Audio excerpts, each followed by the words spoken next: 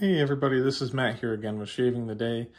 Um, I haven't done a shave den tour in a while, excuse me, um, and I figured it was time for an update for you guys, so I'm doing one today. Um, it looks quite a bit different than the last time that I did one, so um, I figured out some different ways to organize things, and as I've added more soaps and aftershaves and stuff to my collection, I figured um, I needed to move some stuff around, reorganize a little bit. So it's not perfect by any means, but it's what works for me right now. Um, as you can see, it's just kind of in a closet in one of the spare bedrooms right now.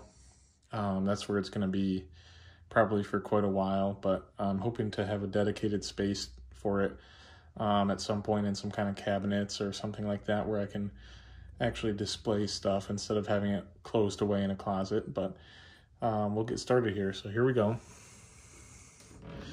Don't mind the extra stuff at the bottom of the closet. Um, this isn't the only thing that's stored in here. But anyway, getting into it here, um, we'll start with the walls. Um, I have some Gillette 7 o'clock black super platinums um, from India. Those are some of my favorite blades. And uh, Astra Blues um, Superior Stainless are some more of my favorites. So uh, those are the only two that I have a full 100 pack of. Um, and as you can see, I've been working my way through those. Um, just have this painting here. Um, really enjoyed it. Um, I found it at a Goodwill and it was very nostalgic for me because uh, my grandpa used to have the exact same one or something similar at least I think. Um, and then down here, got a map of Rome, uh, which is a place that means a lot to my wife. Uh, she studied abroad there, um, and our honeymoon was there, so it means a lot to me too. Then over here we've got a map of the state of Michigan in the style of Lord of the Rings uh, from the books, which is super cool. I'm a big Lord of the Rings fan, um, so that's a nice addition to the den too.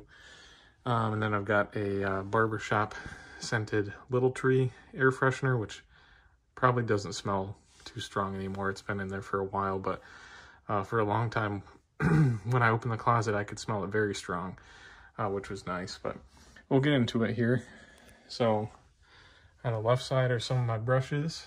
Got some artisan brushes, a RazoRock brush, a Proraso boar brush, another artisan brush, and then a Maggard's synthetic brush. And then we'll go into the bowls over here. Um, got the PAA travel scuttle there, two uh, collapsible uh, dog food bowls, uh, Captain's Choice bowl, which is the one I definitely use the most.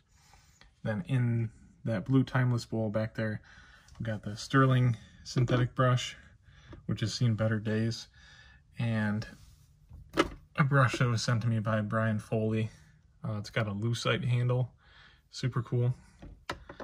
Um, and then in here is the Proraso Azure Lime shaving cream in a bag. Um, so that's what I've got there. Kind of tucked away in that back corner there, I have some of the classic aftershaves um, of old. So I've got Skin Bracer down there at the very bottom in the corner, Aqua Velva. Got some AFTA Balm, Brute here, and Clubman, of course. Uh, those are some of the classics that I've got in there. Uh, obviously don't have all of them, but those are the main ones. And then here I've got the uh, Old Spice shaving creams, fresh lime, and the original. Oh, there's Old Spice back there, of course. Can't forget that. Um, just a few razors here that wouldn't fit where I have all of the other ones. So this is the Gem lather catcher there. It has a blade in it. Um, and then some extra plates for the Rockwell Success and the Starling single edge. I've got my Parker Shavette there and the Gem Featherweight.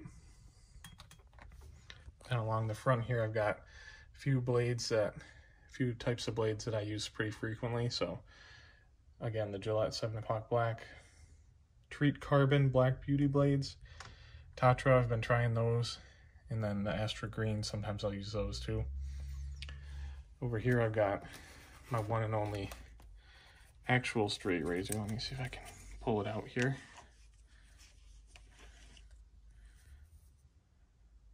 So this is a,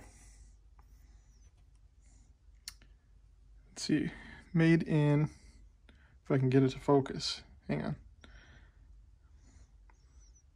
Made in Essex, Germany, I think. Not quite sure what that says. Flip it around. Oh, it's a Wald. It's a Wald. I, can, I couldn't remember. Uh, it's made in Solingen, so it's a German blade, um, and needs to be honed. Um, tried it a couple times. It is just not quite sharp enough. Um, too tuggy, so it needs to be honed and stropped uh, before I can really start using that. But I hope to at some point when I get around to it.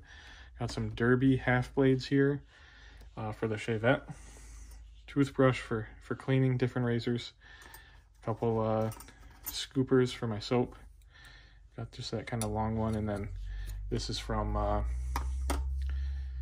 Hazelit's Apothecary. It's kind of this cool twisted spoon there, and then a big pack, a big pack of gem blades back there.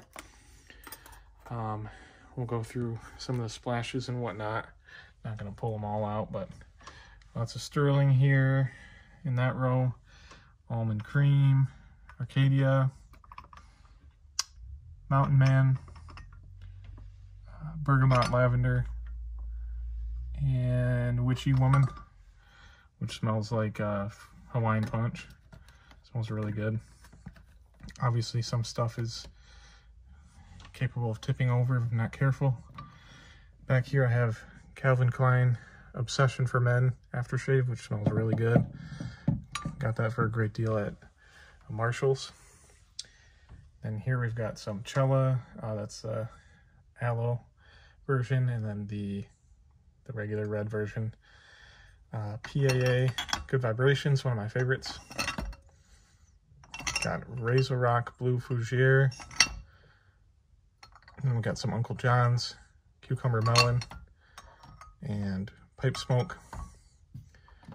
Back here, some PAA Unobtainium, Pumpkin 3.14, Pumpkin Pie, Balm, uh, the Star Jelly Aftershave, which smells amazing, but lights my face up. And uh, as you can see in the front here, there's a few that you've probably never seen before. Um, and that's because I haven't used them on camera yet. Uh, these are some birthday gifts. So I got a few new sets that I'm excited to review for you guys on camera when I get around to it. Um, but those would be Crown and Crane Peppered Plum. And we've got, let's see, McDuff's Cardamom Chai.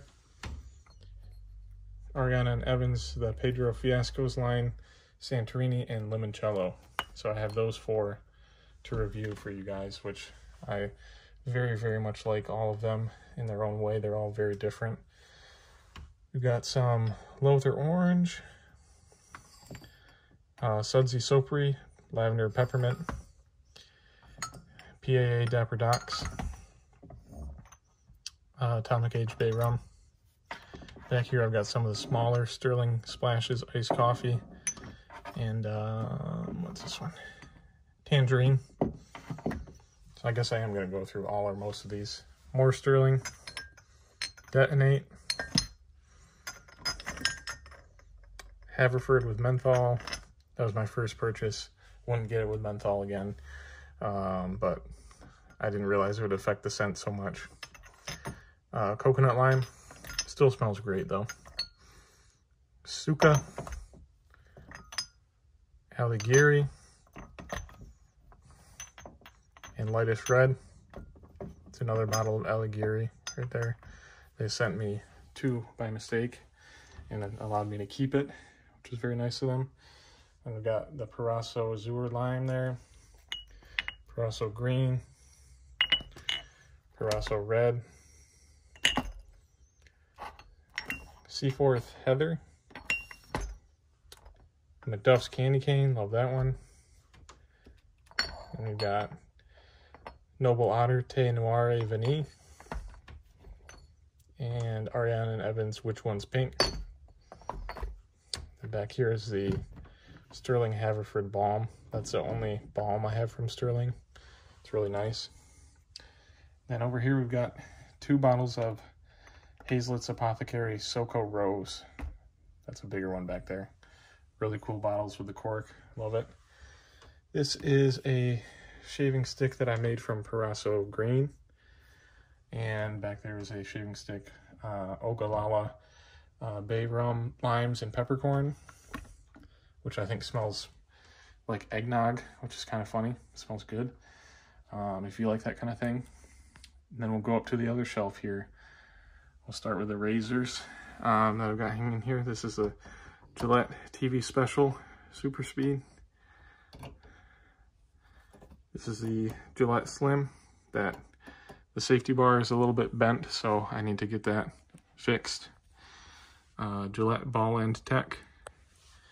Got the Parker variant. Of course, the Gillette Fat Boy.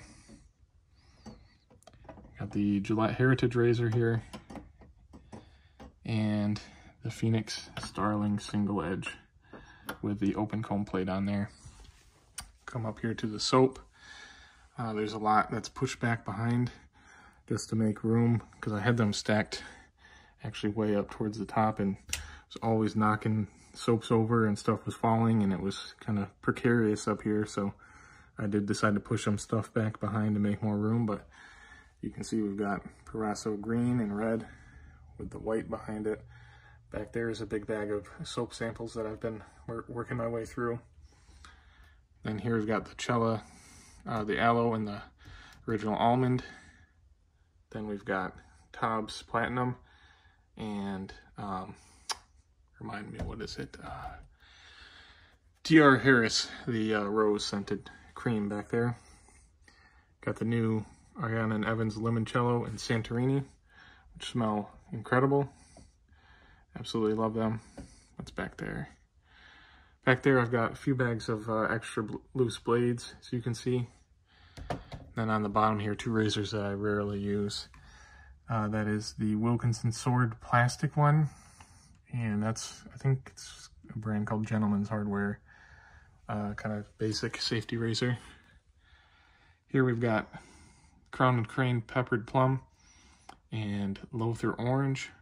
And then we've got Sudsy Soapery Peppermint and Lavender. There might be something back here. Let me see. No, not really right there. I'm going to try not to move too much.